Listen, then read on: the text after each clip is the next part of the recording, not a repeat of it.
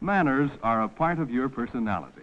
Whether it's a formal occasion or an informal get together, the popular host or hostess greets the guest at the door and knows how to introduce them so as to put them all at ease. The rules are again simple. The boy is presented to the girl. The boy always rises when introduced.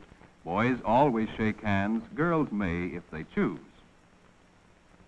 When you are dining out, the girl follows the head waiter or hostess, and the boy follows her. When there is no head waiter, the boy leads the way, getting the table and seating his lady fair. The same is true in theaters or picture shows.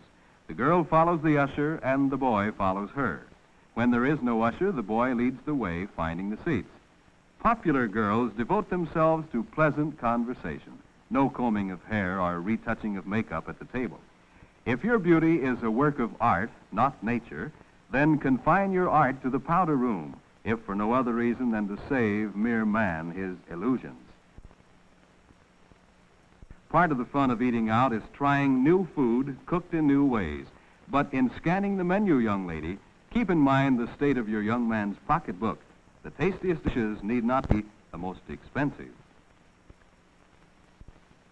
It's still a man's world when it comes to giving the order. You tell your escort, and he'll tell the waiter. In spite of everything, accidents do happen. Apologize. If in a home, offer to repair the damage and then drop the subject. When dining out, the waiter will take care of it. Going places and doing things requires budgeting of time, and it is much more pleasant if you call on time and are ready when called for. If the man of the hour is not acquainted with your parents, then introductions are, of course, in order. A few pleasant words before setting out will put you at ease and make things more gracious. After all, parents are people, and they have a genuine interest in you. One of the young lady's parents or a close family friend should be present whenever she leaves on a date. Take good care of her, young man. This means not only big things like driving safely and getting her home at the reasonable hour set, but also little things like opening doors and many other small courtesies that are a lady's due. The same principle and consideration for the young lady applies if you are going on the streetcar to the library or out on a very special occasion.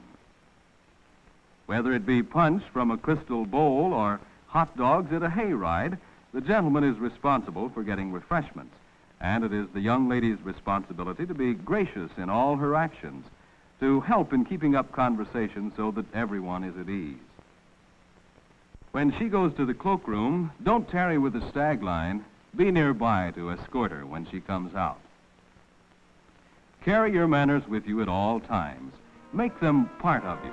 They will help you over the hard places, and remember, whatever your goals in life, finding a good job, being a gracious host or hostess, or not being a wallflower at college parties, good manners will help you achieve them faster